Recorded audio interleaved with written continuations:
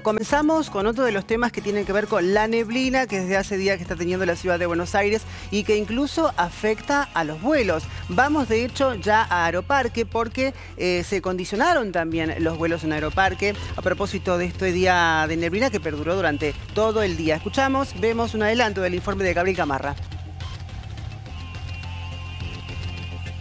Otro día de trastorno en los aeropuertos, tanto en el ministro Pistarini, en el aeropuerto internacional de Seiza, como el que estamos nosotros ahora, en el Jorge Newbery, donde tuvieron que modificar horarios. En el aeropuerto internacional, más de 20 vuelos tuvieron que ser modificados. Y aquí, en el aeropuerto metropolitano, nos dicen que más de 35. Por eso la cantidad de gente que está realizando el check-in, porque tuvieron que rearmar la grilla de partida. Además, tuvieron que hacer desvíos en diferentes aeropuertos. Por ejemplo, algunos vuelos tuvieron que ir al Aeropuerto Internacional de Montevideo, en Uruguay, y otros a la provincia de Córdoba. Observen la pizarra en rojo.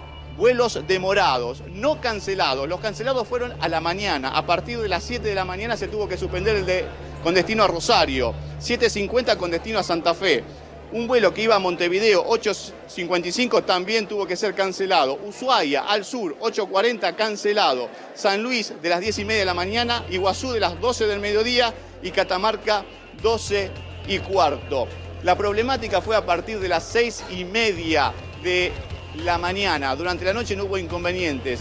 Aquellas personas a cuales se les canceló el vuelo tienen que llamar por teléfono, comunicarse con su empresa para saber en qué situación están. Hay fuertes bancos de neblina y durante la noche se podría complicar la jornada.